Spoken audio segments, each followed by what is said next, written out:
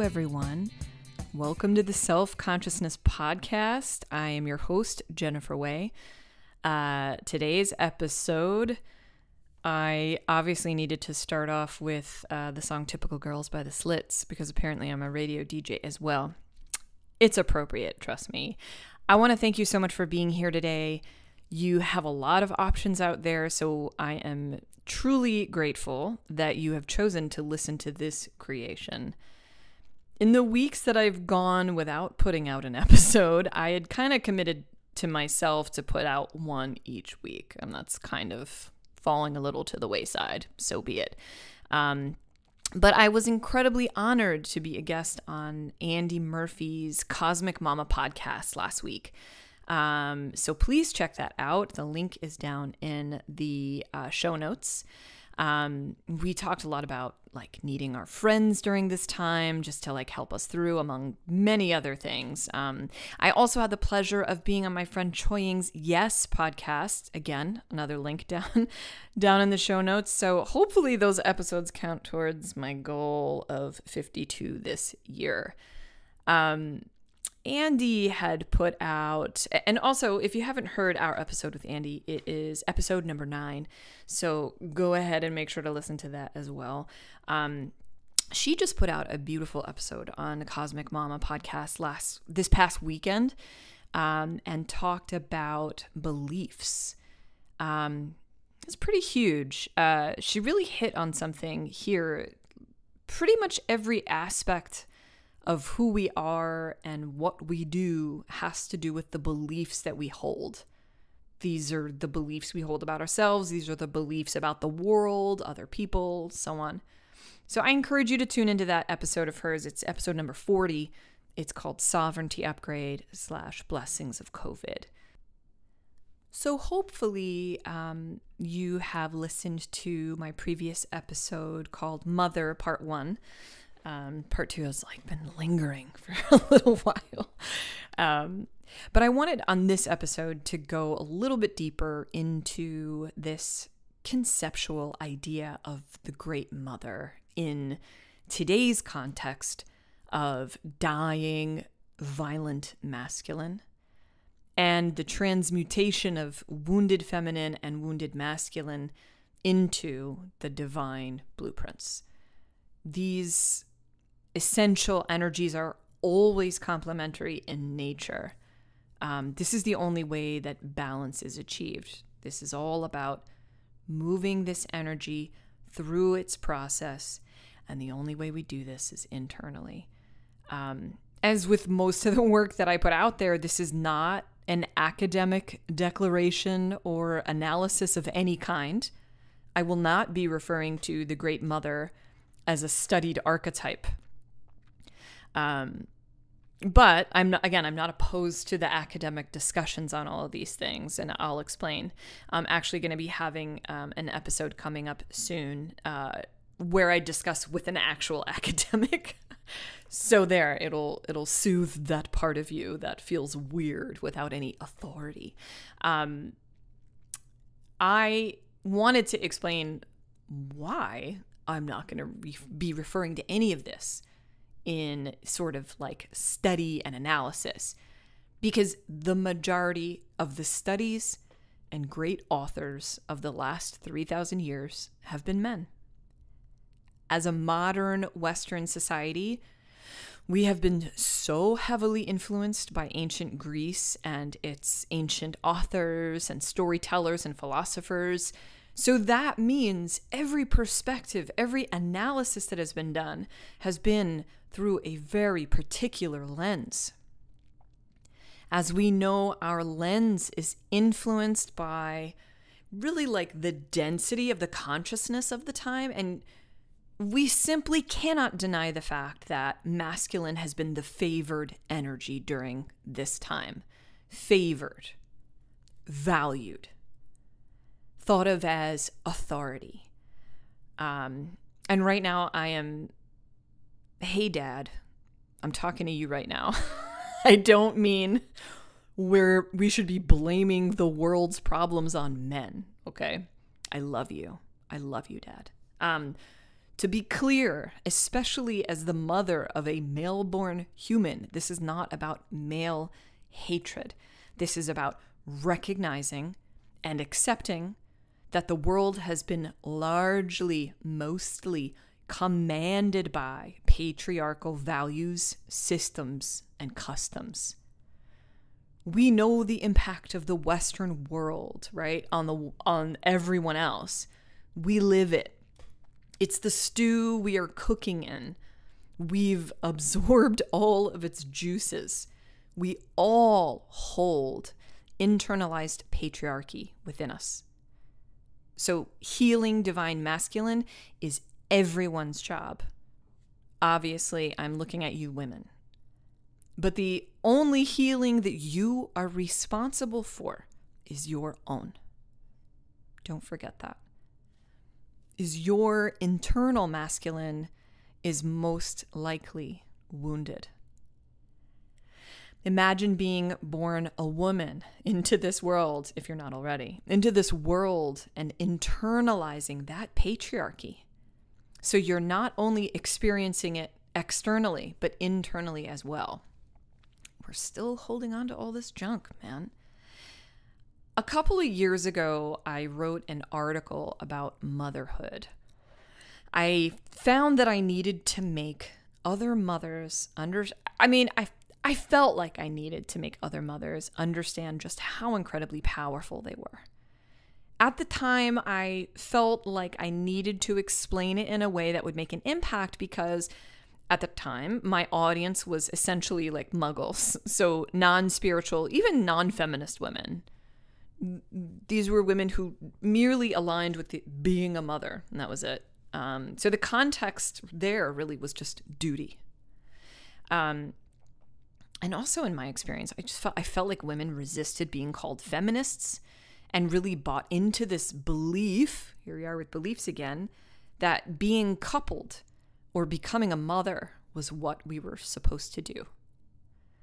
And yes, you can feel a true innate desire to be a mother, but also, or I should say, and also, be influenced by what the world expects of you. And as a woman, we're born into a society that pits us against one another. So we become conditioned to compete for, and I'm quoting, limited resources, right? You know what I'm talking about? All the good ones are taken, right? I'm sure you've heard that. When I was growing up, my grandmother and my mother always said, and this is really weird, but they always said, the perfect man hasn't been born yet and his mother is dead. Yeah. So, in the grand stage of our own objectification, we actually learn how to objectify our future partners or husbands. In any case, here's a little bit from that article. As an intuitive coach and empath, I am constantly feeling into the energy around me as well as observing my own reaction to what I sense. This was obviously back in the days when I called myself a coach. Um, a couple of months ago, I was discussing motherhood with some friends and was struck by the realization that the dominant energy we were holding was insecurity. We had all felt so insecure in our choices, our bodies, and especially our ability to be a good mother, a good wife, good worker. When I had my first child 12 years ago now, I was overwhelmed with the amount of information out there. Looking back, I observed the underlying message behind the suggestions and friendly advice to be you don't know how to do this. Clearly, I needed to try certain methods, parenting philosophies, or products in order to be a successful mother, and if I didn't, I simply would not be good enough. Society tells women and mothers how they should and shouldn't be, that they are incapable of figuring it out on their own, and they should always consult an external authority. This can reinforce an internal sense of insecurity by creating an environment of constant external messaging, most of it marketing, a separation is created between our natural maternal intuition and the aspirational image of an ideal American mother. It's no surprise we feel disempowered. Despite recent gains, we are still painfully underrepresented in governing bodies, corporate boards, and C levels around the globe. Obviously, things have gotten much worse since I wrote this. In America, we have one of the worst maternity leave policies in the world. As women, we've been underestimated, objectified, assaulted, and abused. Even worse, we have internalized a misogynistic perspective and often apply it to our reality without awareness. Here is where I go into uh, the definitions of masculine and feminine. Um, we are currently overwhelmed with masculine characteristics or traits. Uh, and I've already explained this on the other podcast. So if you want to really, you want a reminder of what that is, what the values are, what the sort of characteristics are of divine feminine and divine masculine, you can just go ahead and listen to my last podcast, Mother Part One. I don't like to go into the shadow aspect of all this because I don't want to focus on explaining to you guys. Now, this is not in the article. I don't want to go into explaining what wounded is, what the shadow side is, what the dark part is of masculine and feminine, because we are living it. We, you know what it is. I don't need to explain it. It's time to focus on what the divine aspects are. So, the good news is back to the article. The good news is divine feminine energy is rising back up. It is inevitable in our evolution and for our survival. Part of stepping into your power is finding true appreciation for these qualities within yourself sensitivity, emotion, heart, hormonal cycles. Without all of this, we would not be able to be mothers. It's time to bring the soft. We can choose to value all of these aspects inside ourselves and other women. We can live our lives in gratitude for all that is maternal and feminine. We don't have to listen to those external opinions anymore, they simply don't matter. Here's where I try to kind of draw people in. Not quite sold? Let's get woo woo. You may have your own personal religious or spiritual beliefs, but in general, would you agree that we have a soul that continues after we die? Would it be safe to say you might believe that we were in spirit form before incarnating into this body? The scientific world has accepted the existence of multiple dimensions. Isn't it possible that souls exist in these other dimensions beyond our 3D reality? If you're not spiritual or into science fiction, I know this might be difficult to relate to or even accept. But what if I told you a huge part of feminine receptive energy is actually being sensitive to these subtle energies? I know this, it's funny reading this now. I know this is a bit far fetched, but stay with me. If different dimensions exist, and we might be able to access them when we die, how did our soul get to Earth in the first place? Traveling from one dimension to another would require some kind of portal or entry point. The only entry point for human life on this planet is you. You are literally a portal. Your body connects consciousness and brings spirit into 3D reality and bodily form. Sit with that for a second. I'm going to pause and let you sit with that for a second. Just kidding. You hold enormous power, it is immeasurable. You hold space. You contain a universe of feeling, love, and care. You bring human life into this world. Never forget who you are and how divinity speaks through you. Swim in your emotions and cycles. Embrace your sensitivity.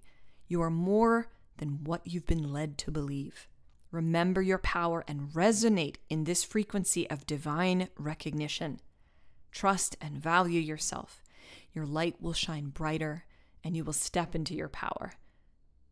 It's time to run the world. I don't love the end of that, but that was it.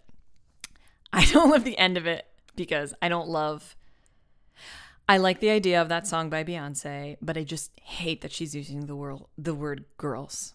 Can I, I know it rhymes with world, but can we just use women from now on?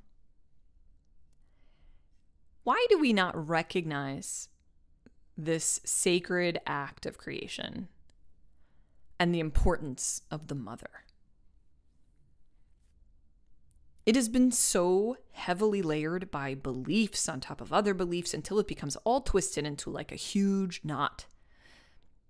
And it's a knot that we try to untie with the mind through thought and analysis. Analysis, in and of itself, is an inherently masculine value. We look at motherhood or even the divine feminine through the mind. We put down or make fun of feelings, stillness, motherhood.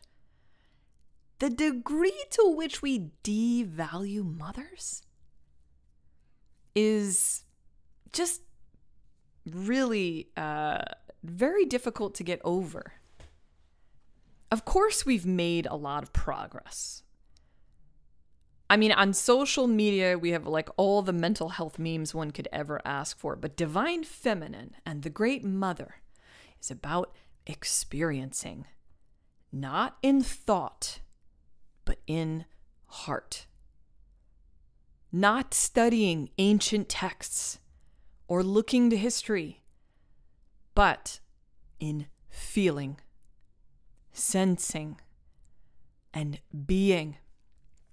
And in order to freaking destroy these beliefs, you have to trust yourself, trust those feelings, trust your sensations, trust your being. Last weekend, I went on a solocation and stayed near the seaport in New York City. Um, I woke up early one of those mornings to watch the sunrise over the Brooklyn Bridge because I just love to romance myself. Um, and as I looked into the water, I was reminded, for whatever reason, of the movie Splash from the 80s. So, of course, as people like me do, I was like, let's analyze, right? Everything I just said that I shouldn't do. But it wasn't really an analysis, it was an emotional review.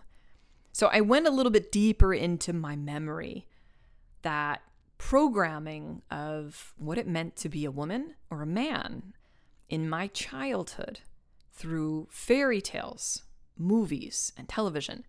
I remembered feeling such a tie to that movie and to mermaids. I mean, like now I can see it as another like 80s indoctrination of that male gaze fantasy or constant sexualization of women, but for some reason, this one really got to me for a sec. Um, and it started me to really like on a path of really kind of like exploring these feelings. As a person growing up in America, I was so confused about what it meant being a woman. Being sexualized and like seeing those images from like such a young age, I was so confused about myself. I couldn't identify with assuming this role of the sexy woman or even just the plain woman. These seemed, honestly, they seemed to be the only options. These were like the only images shown to me. Mostly it was the sexy woman. I knew that there was so much more to me than just being that, being there for a purpose or for a need, more than just being a pillow for a man's comfort. I was confused about whether all of these other sort of weird parts of me were real the parts that didn't fit into the categories I saw being established and reflected around me. I mean, I I guess I knew that those parts of me were real, but I definitely learned that they weren't valued. In my case, I was like well schooled on what experience and perspective was through a man's lens. I didn't really understand the difference.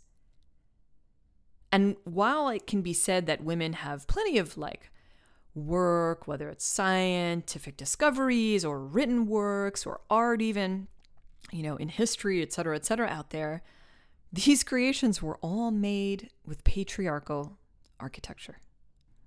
When people say to me now, or let's say like they ask me kind of about movies or books or certain things to study or even art i've found myself in the last five years or so just being like nope i, I don't i don't take in male perspective anymore. I just don't.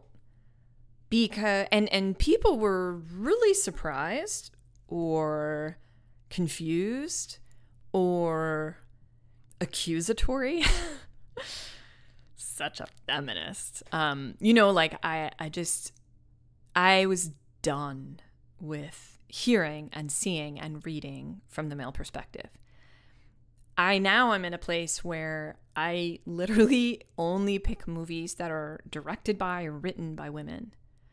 If they're not, there's got to be at least some women in the higher positions of make uh, creatively. So if it's a co-writer and not the director, that's fine.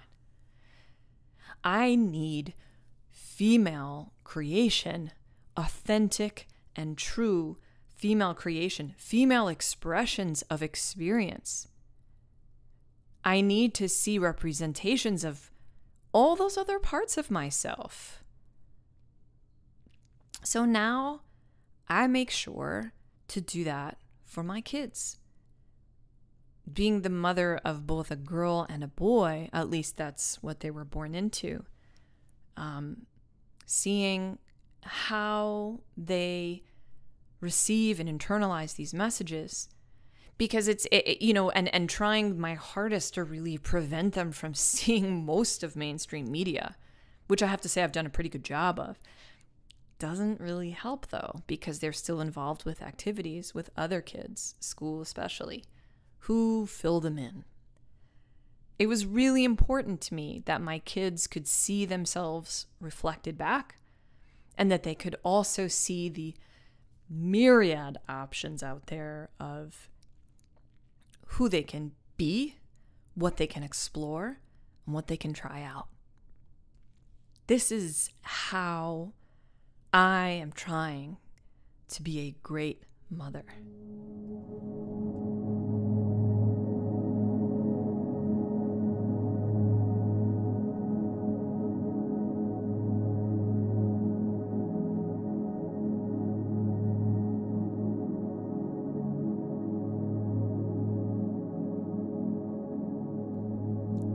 In the embrace of divine feminine, I found the source of love. The source emits through me. Unearthing this source required years of internal exploration and, very importantly, forgiveness. It was a long process of letting go of beliefs about men and women, beliefs about sex and my own sexuality, beliefs about motherhood and fatherhood. For me, the road to balance must begin with Isis.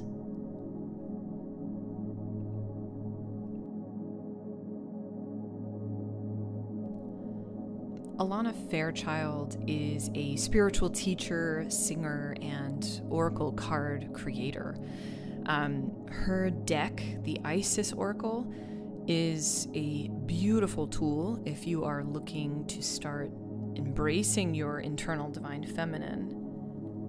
The ritual you're about to hear comes from this deck. It's written by Alana Fairchild. At this point in the podcast, I would like you to just kind of stop because I'm going to take you through a ritual. And I don't want you to attempt this kind of energy work if you're driving or operating heavy machinery. Um, so pause here and pick it up later when you can be alone in a private, quiet place. You might like to light a candle or do this in a softly lit room uh, without ideally without strong sunlight or in absolute darkness.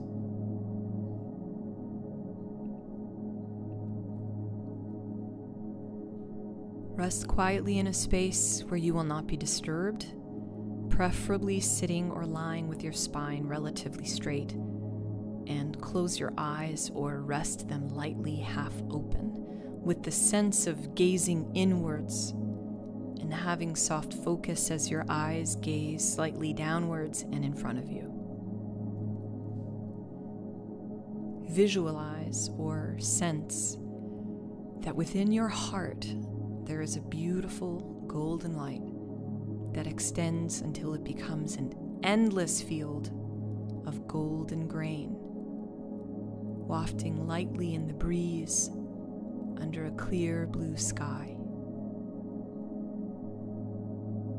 Grain is almost ready to harvest, and the light seems sun kissed and golden. There is warmth and a pleasant, earthy scent in the air and warmth on your skin that is neither too hot nor too cool. You can sense yourself walking or resting amongst the golden fields of grain, feeling the bounty, peace, and life. You become aware of a golden woman gazing down at you from the sky.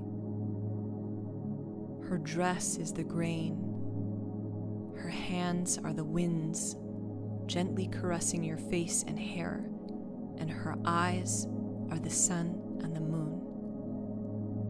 You feel great love.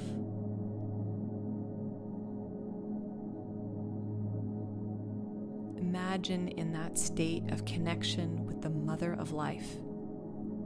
You can breathe in deeply and breathe out and release through your breath any fear, doubt, or attachment, even any of your history that would prevent you from really opening up to live more fully into all parts of your being now your body, your sexuality, your spirituality, your creativity, your intuitive and inspirational mind, and so on. Just breathe in and let go as you breathe out. Imagine the gentle breeze of the Mother of Life sweeping away that which you release and replenishing you with her unconditional love. When you are ready, just open your eyes fully and breathe in and out, being aware of your body and coming completely back into the present moment.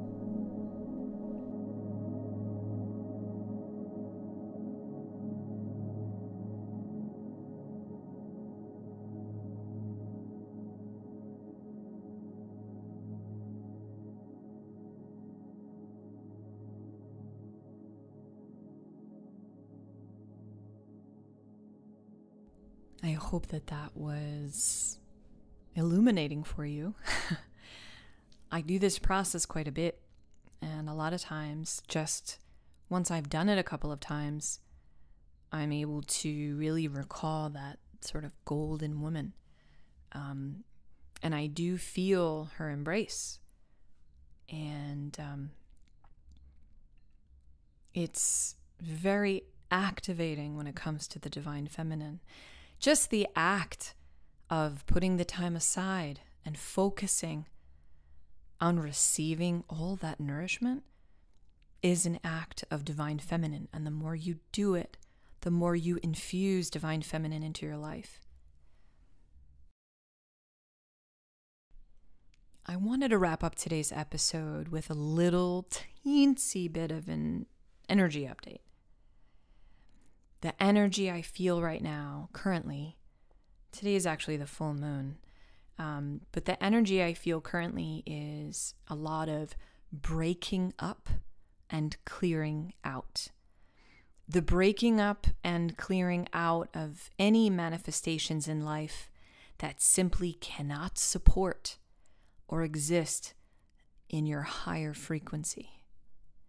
We are experiencing death all around us but if there is something that can make space for death, that can hold and cradle it, soothe the wound and heal the heart, nourish into life once again, it is the divine feminine.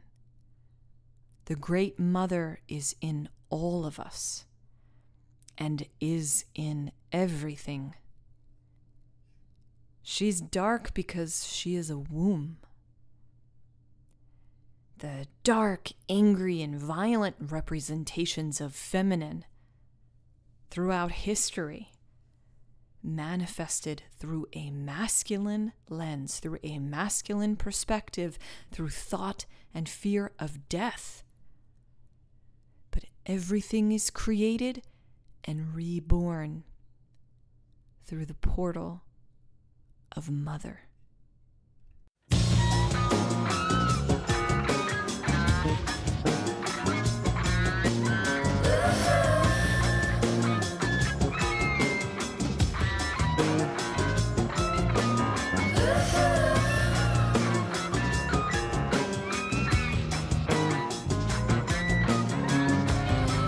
sometimes you just